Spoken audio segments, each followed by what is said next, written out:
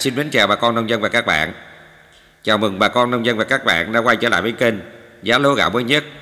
Đây là nơi bà con nông dân và các bạn có thể tham khảo được giá cả lúa gạo mới nhất trên thị trường trong và ngoài nước. Lời đầu tiên, xin chúc cho bà con nông dân và các bạn được nhiều sức khỏe, vụ mùa bội thu, trúng mùa được giá. Nếu đây là lần đầu tiên đến với kênh, xin hãy nhấn vào nút đăng ký màu đỏ bên cạnh, nhấn vào cái chuông, chọn tất cả để không bỏ lỡ những video mới nhất mà chúng tôi đưa lên. Xin cảm ơn bà con. Thưa bà con, mô hình lúa tôm ở các tỉnh đồng bằng sông Cửu Long đã được chứng minh tính hiệu quả khi cho mức thu nhập cao gần 3 lần so với độc canh cây lúa và gần 2 lần so với nuôi chỉ một mình con tôm. Diện tích sản xuất lúa tôm ở các tỉnh đồng bằng sông Cửu Long hiện đang mở rộng rất nhanh.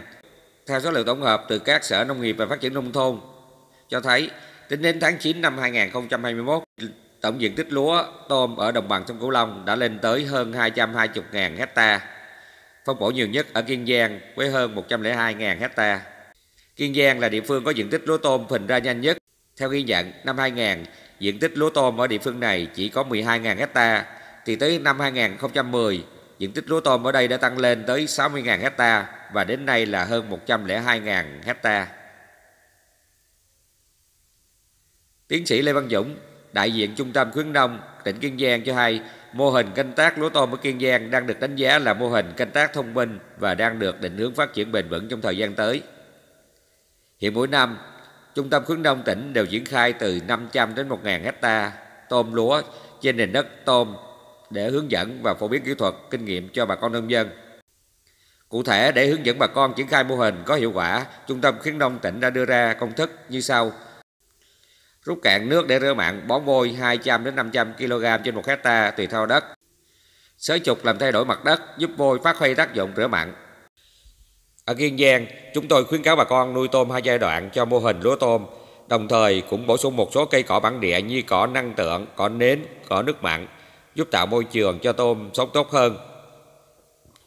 Lúa tôm cũng là mô hình canh tác nông nghiệp thông minh ở Cà Mau bởi quá trình cải tạo đất từ mặn sang ngọt để trồng lúa nhiều mầm bệnh gây hại tôm sẽ không sống được ở môi trường nước ngọt và ngược lại. Sau vụ nuôi tôm, các chất thải của tôm sẽ được bộ rễ của cây lúa hấp thụ. Không chỉ vậy, sau khi thu hoạch lúa, một lượng sinh khối lớn thân và rễ lúa phân hủy kích thích sự phát triển của phiêu sinh vật làm thức ăn cho tôm. Chính vì lợi ích kép ấy mà nhà nông canh tác lúa tôm không cần sử dụng thuốc bảo vệ thực vật, giảm được chi phí khá lớn cho phân bón, sản phẩm tạo ra thân thiện hơn với môi trường và sức khỏe cộng đồng.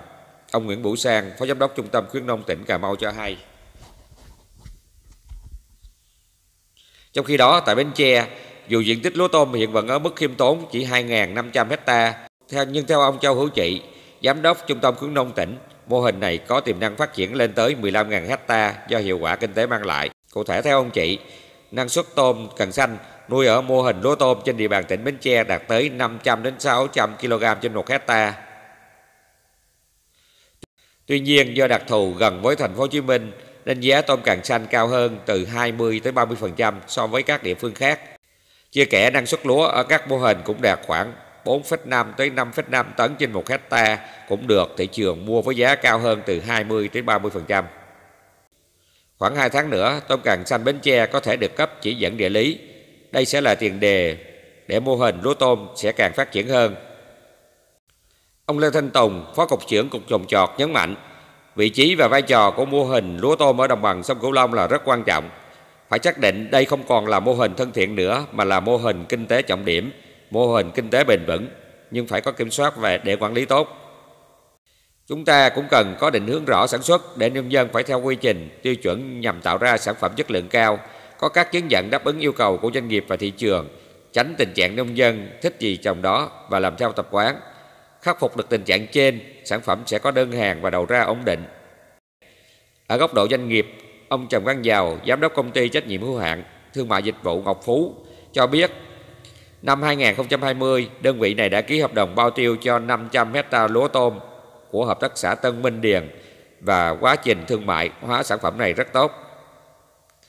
Sản phẩm gạo ST24, ST25 từ mô hình lúa tôm được chúng tôi mang qua thị trường Mỹ được họ test chất lượng và đánh giá rất tốt. Sắp tới chúng tôi sẽ mở rộng quy mô bao tiêu sản phẩm này để xuất khẩu, ông Giàu nói. Còn ông Huỳnh Phi Châu, giám đốc công ty cổ phần gạo ông Thọ, cũng cho hay đơn vị đã thu mua sản phẩm từ mô hình lúa tôm từ năm 2015 đến nay và quá trình thương mại hóa rất tốt. Thưa bà con, sau đây kênh sẽ đưa thông tin về giá cả lúa gạo trong ngày hôm nay.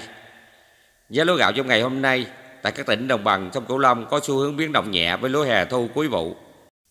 Giá lúa ER 50404 tươi hiện có giá từ 4.600 đến 4.900 đồng 1 kg. Lúa đại thơm 8 tươi hiện có giá từ 5.600 đến 5.800 đồng 1 kg.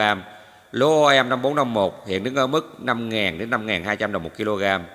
Lúa OM 18 tươi hiện có giá từ 5.500 đến 5.600 đồng 1 kg. Lúa nàng 29 tươi hiện có giá từ 6.000 đến 7.000 đồng 1 kg. Lúa Nhật hiện có giá từ 6.900 đến 7.000 đồng một kg. Lúa nàng nhan khô hiện có giá từ 11.500 đến 12.000 đồng một kg. Lúa ER 50404 hiện có giá 5.500 đồng một kg. Nếp vỏ tươi 3 tháng rưỡi có giá 4.300 đến 4.400 đồng một kg. Nếp tươi Long An có giá 4.500 đến 4.700 đồng một kg. Nếp vỏ khô có giá từ 6.000 đến 6.700 đồng một kg.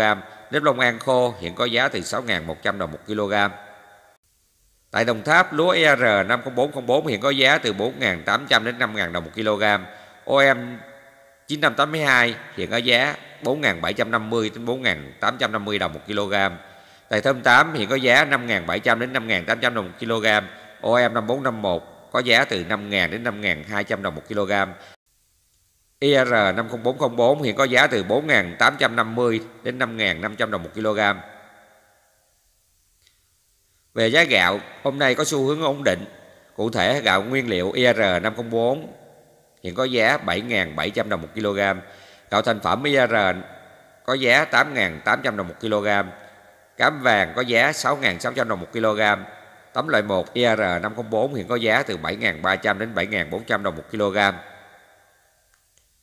Nếp ruột 13 đến 14.000 đồng 1 kg. Gạo thường hiện có giá 10.500 đến 11.500 đồng 1 kg. Gạo nàng nhan 20.000 đồng 1 kg, thơm tái hạt dài từ 17 đến 18.000 đồng 1 kg, hương lài có giá 18.000 đồng 1 kg.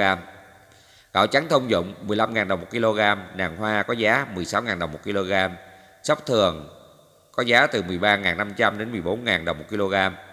Gạo sóc thái có giá từ 18.000 đồng 1 kg, gạo Nhật 19.000 đồng 1 kg, gạo giặc min có giá từ 14 đến 15.000 đồng 1 kg. Thưa bà con, Bản tin về giá lúa gạo hàng ngày của chúng tôi hôm nay đến đây tạm dừng. Bà con xem tin thấy hay thì xin hãy chia sẻ thông tin này đến cho nhiều người cùng xem. Xin cảm ơn bà con.